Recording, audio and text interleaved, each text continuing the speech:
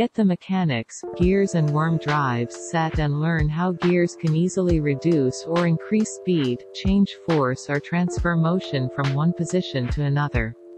Discover how worm drives are used to greatly reduce rotational speed and how screws can convert rotational motion to linear, while greatly increasing force. Build 12 working models such as an experimental crane, a gearbox, a carousel, a helicopter, a screw press and a crane with a rotating arm.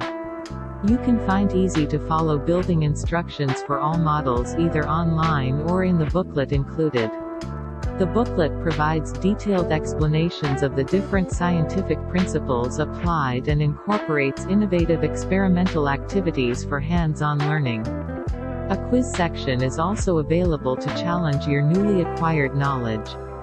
Conduct thorough experiments and discover how the gear's diameter affects force and speed, how to calculate gear ratio, even for complex assemblies, how to use gears to change the direction and plane of motion, how to calculate the mechanical advantage of a screw, what a worm drive is and how to use a ratchet mechanism.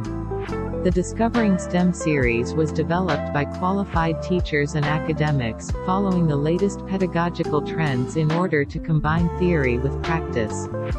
The series deals with the core subjects of STEM, science, technology, engineering and mathematics, in a fascinating and enjoyable way. Each package includes a comprehensive activity booklet, covering a broad area of subjects.